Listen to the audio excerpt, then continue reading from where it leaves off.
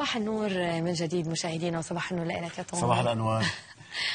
خلينا نحكي عن عرض جديد. حلقتنا اليوم كلها فن وترفيه نعم. وثقافه من قيمتك. شكرا. عن عرض جديد راقص ومخرج نجح أيضا بجعل فنه محطه لاستقطاب محبي الفن أجمع. قدم عروض عديدة آخرها كان عرض أرجوحة. يعالج من خلال فنه مواضيع إنسانية مختلفة تعني المرأة والمجتمع. نستضيف معنا عبر سكايب من بروكسل الشاب المخرج والفنان الراقص اللي بنفتخر فيه وعينيه بكير إياس المقداد. صباح النور إياس. يسعد صباحك توني صباح الخير هبة. يا هلا فيك. عرضك الأخير اسمه أرجوحة.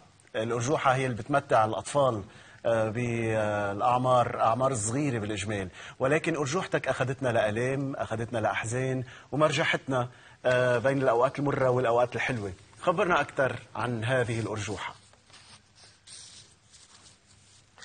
بالضبط هو عرض الأرجوحة بي- بيتطرق لهي الصورة اللي هي مرتبطة بطفولتنا آه، بس آه، بالعرض أنا عم بحاول إنه آه، خلي هي المرجوحة هي تعبر بشكل رمزي عن الحياة وعن حالة التأرجح اللي ممكن نعيشها بالحياة بين بين قمة الحزن والألم أو بين قمة السعادة. العرض عم بيحاول إنه هو ي- يقارب ال- المعاناة اللي بتعيشها آه، المرأة بحالة الحرب. آه، وهذا بشكل أساسي هو الإطار اللي بنيت عليه العرض اللي هو مدته نص ساعة وتقدم ضمن فعاليات آه، مهرجان موسم دمشق في بروكسل نعم. آه، يعني إياس عرضك هو كان آه، رقص آه، مسرحي بس ما كان في نص. كيف تمكنت من إيصال أفكارك عبر حركة الجسد فقط؟ هلا هو حقيقة ما في نص.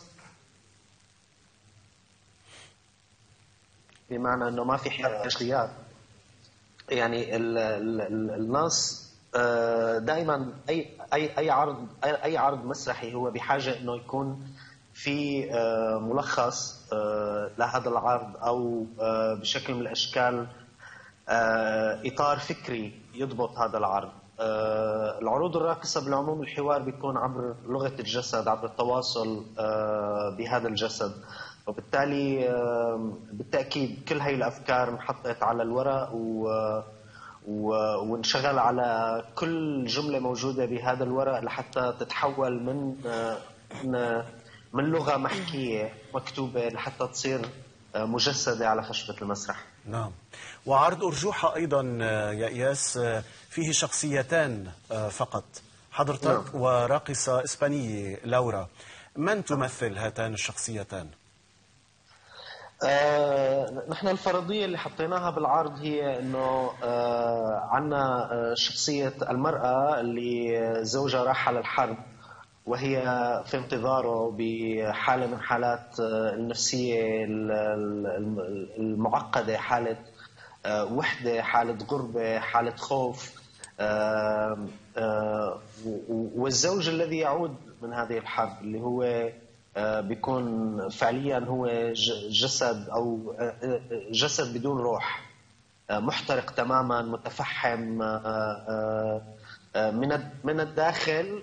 ولكن الصورة الخارجية هي بتعبر عن هذا الشيء اللي هو آه، هي التروما ال- آه، الشديدة اللي بتسببها الحرب. طبعا الناس اللي بيشاركوا بشكل مباشر أو آه، بالناس اللي بيكونوا متأثرين بشكل مباشر بهي الحرب. الحرب بسوريا خصوصا؟ آه، بالتأكيد يعني يعني كفنان سوري أنا الأفكار تبعي بستقيها من تجاربي الشخصية اللي هي آه، بالتأكيد بالنسبة لي عم بحكي عن سوريا أنا بهذا العرض وإنما حاولت بهذا العرض إنه ما أكون بس عم فكر بصورة المعاناة السورية حاول إنه اتلمس من خلال هذا العرض معاناة آه، قد تكون آه، تعرض لها العديد من شعوب العالم يعني آه، ونحن بمأساة الحروب لسنا جدد يعني نعم آه، إياس حولت الدفن لاحتفال والأرجوحة لقبر ليه؟ شو السبب؟ آه، يعني آه، برجع بقول إنه هذا التغير الدراماتيكي لمجموعة من من ال- العناصر البصرية اللي هي موجودة بالحياة الحرب بتقدمها أحيانا بشكل عبثي يعني بنشوف آه، على شاشات آه، التلفزيون دمية لطفله صغيره مغطاة بالدماء يعني. ف حا- حاولت بهذا العرض انه إنه قارب هي الصور المؤلمة اللي نحن بنشوفها آه، ل- لتعبر بشكل من الأشكال عن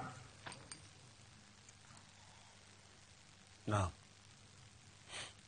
عن مأساوية الحرب وعن آه، عن نعم. حتى جسمك يعني ببعض مشاهد العرض آه، بيكون مغطى بالطين.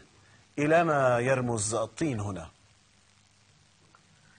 يعني هاي المادة المباشرة اللي أنا استعملتها لحتى آه، نغطي الجسم هو بلحظة من اللحظات بيبين آه، آه، طين بلحظة من اللحظات بيبين الجسد محترق متفحم.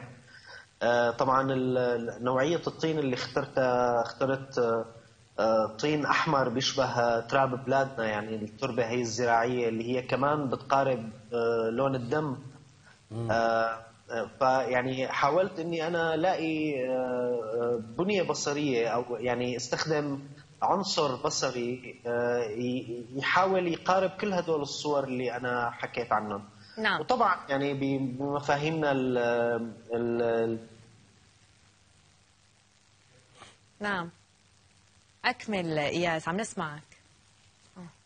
يبدو أنه هناك مشكلة تواصل تقني نعم. بيننا وبين بروكسل طيب. بس رجع لنا إياس خلينا تفضل آه. ألو. نعم عم نسمعك هلأ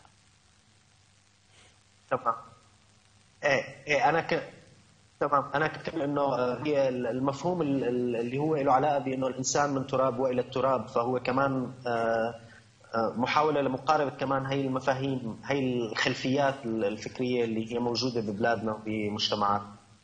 طيب سؤالنا الأخير يعني جمهور العرض كان آه، آه، مزيج بين الأوروبيين من جهة البلجيكيين خصوصا والعرب الشرق أوسطيين ردود الفعل آه، كيف تفاوتت بين الجمهورين؟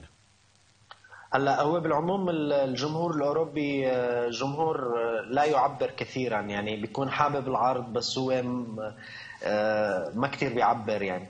وخاصة إذا يعني يعني حتى لو كان العرض هو بيحكي عن آه، مشاكله اليومية أو أشياء بتخص حياته يعني. آه، بس بالعموم كانت ردود الفعل كثير إيجابية.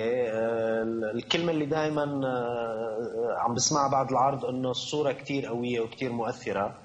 وهذا بيدل على آه، على آه، قدرنا بشكل من الأشكال إنه نقارب قسوة آه، الحرب بعمل فني طبعا هو بالأخير الحرب أقسى من هيك كثير آه، بالنسبة للجمهور الشرق الاوسطي طبعا بيكون آه، أكثر تعبيرا عن آه، تفاعله مع العرض آه، وبظن إنه كمان آه، بسبب إنه هن يعني أقرب يعني قد يكون جزء من معاناتهم آه، الشيء المقدم بهذا العرض. نعم. طبعا إشارة أخيرة إلى أنه إياس أيضا هو مخرج أفلام وثائقية ويعمل حاليا على فيلم وثائقي طويل بعنوان المشهد الأخير لاختصار آه، الثورة آه، السورية. المخرج والفنان الراقص إياس المقداد كنت معنا مباشرة من بروكسل. شكرا لك. وعذرا على هذه آه، الأخطاء أو سوء التواصل التقني بيننا. لا بشكركم كثير يسعد صباحكم وشكرا لهي الفرصة وبتمنى لكم وبتمنى لجمهوركم نهار سعيد شكرا خلينا نروح. أنا وأنت هلأ